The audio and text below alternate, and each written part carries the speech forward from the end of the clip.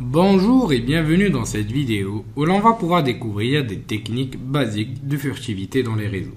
Parmi les techniques les plus basiques qu'on peut retrouver, c'est tout d'abord la fragmentation de paquets, qui consiste à rendre notre scan le plus discret possible en fragmentant les différents paquets, nous permettant donc d'être le plus discret possible afin de pouvoir éviter la plupart des IDS et IPS, ou notamment la partie détection basique. Ceci se passe simplement en utilisant l'option Mais pour être concret, il existe aussi aujourd'hui beaucoup de firewalls qui permettent de détecter ce type d'approche, surtout les euh, firewalls de, nouvelle génération.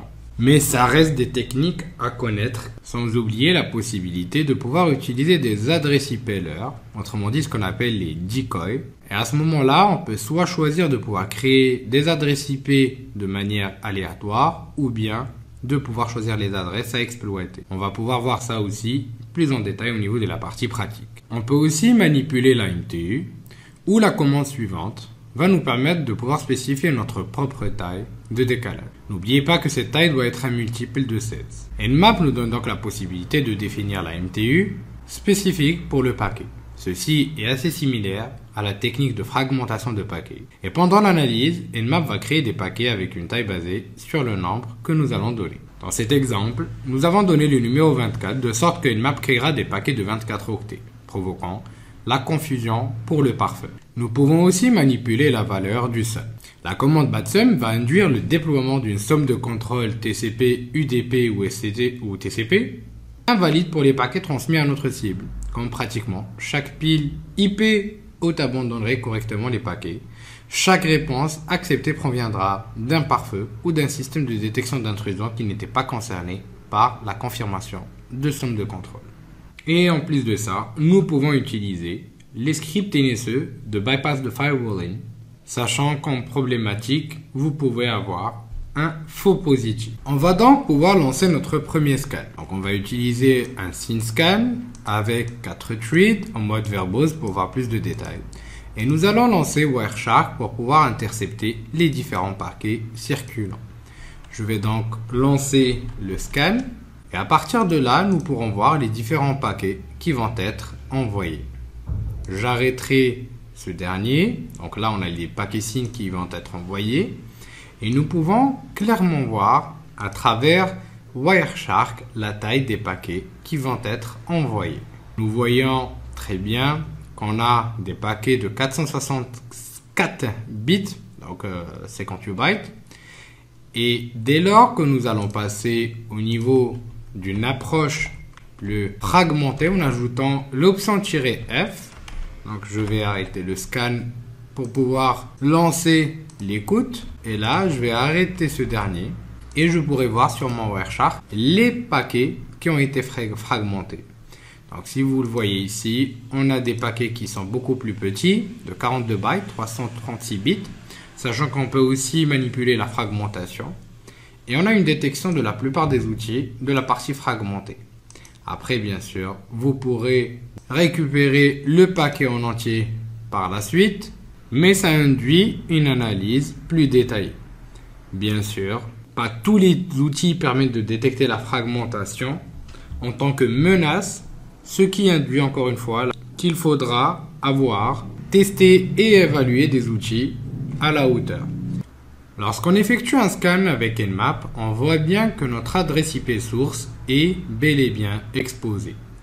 On peut donc la cacher en utilisant l'option decoy qui va nous permettre de pouvoir utiliser ou pouvoir générer des adresses IP aléatoires. Donc on a deux choix principalement. Je peux par exemple choisir tout d'abord de pouvoir utiliser via l'option "-d le decoy donc en utilisant des adresses IP que moi-même je vais spécifier.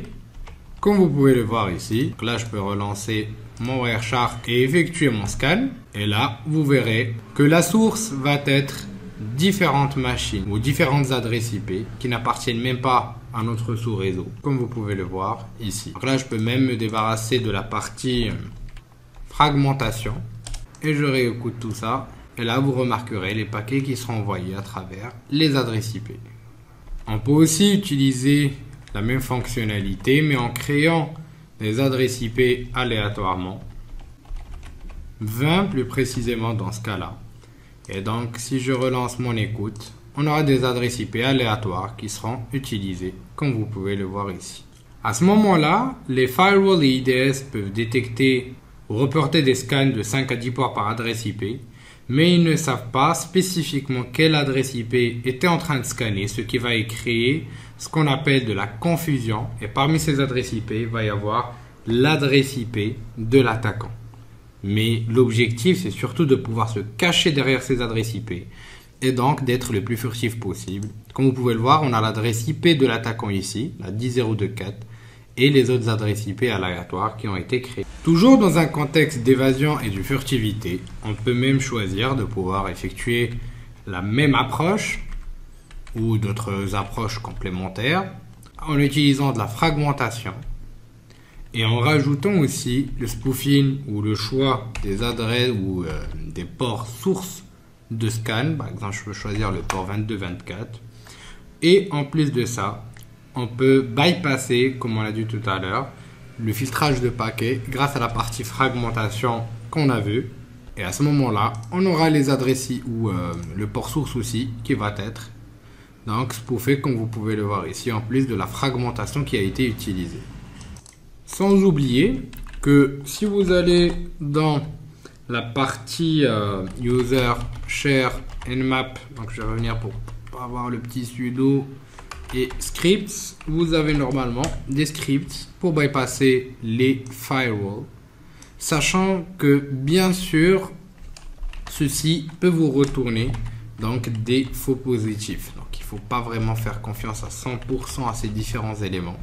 Sachant qu'on va pouvoir découvrir au niveau de la formation avancée comment pouvoir bypasser la partie solution de sécurité de manière assez poussée. Donc là, c'est vraiment le B à bas.